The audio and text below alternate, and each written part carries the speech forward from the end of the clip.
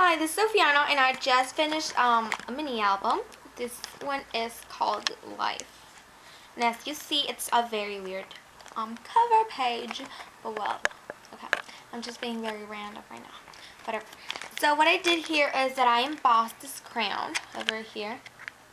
And um, the background, I paint painted it all with red um, paint.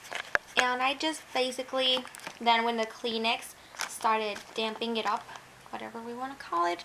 And I stamped um, some some phrases in there you cannot see really well. Over here, I added two Prima flowers with bling in there and two and ribbon there. At the edges, I added um, a cute button and some flowers just hanging around. Over here, I just left it blank. And over here, I made some flowers with my Prima with my Prima Bling, sorry, and a little mat to place a photo in with some lacing here. Over here, I just made like a, whoops, whatever.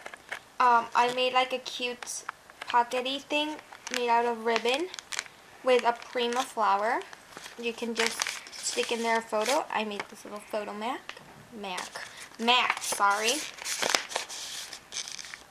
Over here, I made a cute little, um, whoops, a little, I don't know how to, kind of journaling, I don't know how to call this, but it's like a paper bag you open, and inside you have lots of journaling um, tags you can use. And yeah, you store them in there. The next page I left it blank and just put some glossy accents on the branches.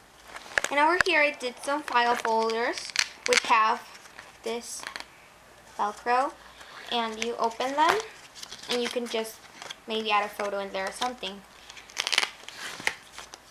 These are the um, file folders. And as you see they're adhered with some velcro here. Over at the next page, I made a pocket, um, which you can add some tags in there with some feathers. And over at this page, I painted all, painted it all with different paints and added some thickers. The last page, I kept it very simple, just some glitter in the blue little, some blue arrows. So thank you for watching and bye!